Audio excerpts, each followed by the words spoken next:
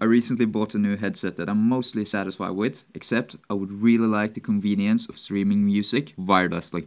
Instead of buying a more expensive headset, I cut the cord and went to work to create a Bluetooth headset adapter. That's what I'm showing you today. Let's get started. At first, I looked at all the parts needed to make an adapter from scratch, but I realized I could get most of the circuitry needed in a much smaller package by modifying a cheap pair of Bluetooth earbuds. I ordered these ones from China for 9 bucks. To get a look at what we're working with, I ripped open the headset.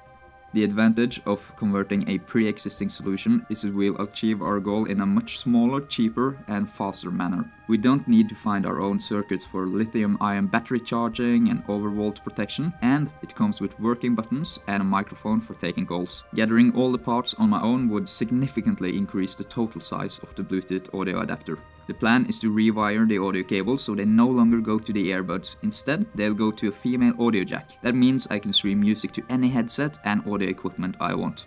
Before soldering, I use my multimeter while playing music to find the positive and negative leads of the audio signal. These are the only points we care about to transmit music wirelessly, and they need to be wired from the Bluetooth chip to the audio jack. At first, I connected both negative audio leads, but only one is actually necessary. I ended up removing one of these later on. Thin audio wires come with an insulation lacquer on the outside. I simply burned this off with a lighter so the wires could accept the solder. I recommend cutting the audio cables longer than you think you need to get some room for mistakes. Trust me, that always happens. After tinning the wires and the female audio jack, it's just a matter of holding them together and lightly touching with a soldering iron. The solder connection on such thin wires happens almost instantly. Now just to make sure everything worked at this point, I connected my USB oscilloscope to the Bluetooth adapter. Then I started playing a 20Hz sine wave on both left and right audio channels. You can of course connect a headset or speaker and play some music to test the headset. I just used an oscilloscope because I wanted to visualize the signal transmission.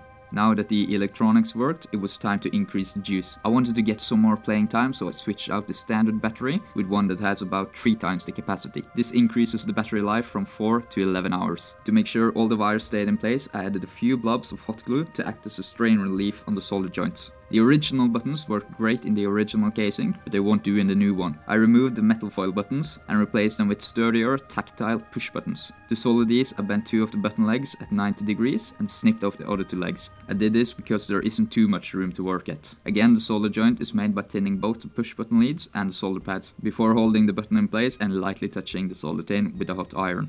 I'm using Fusion 360, a free program from Autodesk to design the case. I wanted everything to fit together as snug as possible, as that makes for a smaller adapter. You can find both schematics and downloadable 3D files in the video description. While 3D printing, I recommend flipping the lid 180 degrees, so the outside of the case is printed as the top layer. This makes it look much cleaner. Making something as tiny as possible proved to be a challenge, so I had to go through several iterations of the design before I was happy with how everything looked and fit together. The end result came out really good good. Now it's finally time to put everything together. Most parts are simply clamped in place by the case. I added hot glue to the audio jack and a magnet. These magnets hold the Bluetooth adapter onto the side of the headset. Before closing everything up, I added a small amount of hot glue along the seam of the bottom case. To avoid the adapter hanging down from the headset, I fastened a couple of magnets with black electrical tape. And I made a shortened audio cable that goes from the headset itself to the Bluetooth adapter. That's it. Connect the Bluetooth adapter to whatever headset or speaker system you like, and you can finally rock out out to your favorite tunes without feeling constrained by a pesky wire.